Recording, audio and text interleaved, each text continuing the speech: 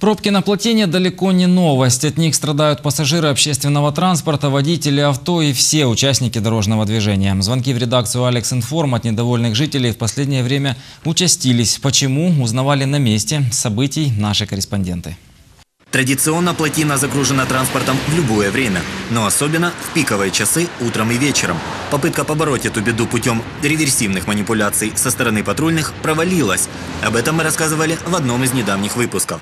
Тогда случился транспортный коллапс. Мост с Хортицы в город закрыли для всех, кроме общественного транспорта, а объезжавшие через плотину водители застряли надолго в пробке. Шквал критики и реализацию идеи отложили на неопределенный срок. Стоять в пробке перед и на плотине люди привыкли, но в последние дни, говорят, время тянучки в пробке увеличилось.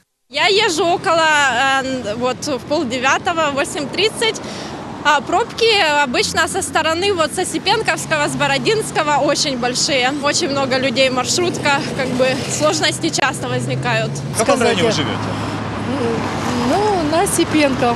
Каждый день утром везем внучку в школу в 28-ю. Пробки постоянно. Почему они? Это же протяжение месяца, наверное, постоянно идут. И мы всегда страдаем, не знаем, как побежать, через Кортицу или здесь, не знаю.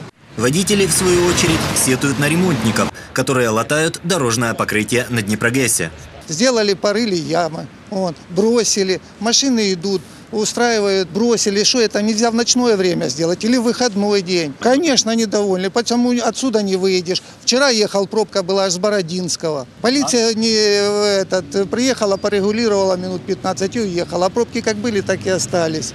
На дороге оставленные незалатанные ямы. Это не мешает машинам пролетать через них, хотя пусть и минимальный, но риск ДТП все же есть. Пассажиры общественного транспорта и водители говорят, в часы пик надо регулировать движение с помощью патрульных, либо проводить ремонтные работы в другое время, чтобы не создавать пробки, так как люди спешат на работу. Как показывает практика, на деле к советам людей не прислушиваются.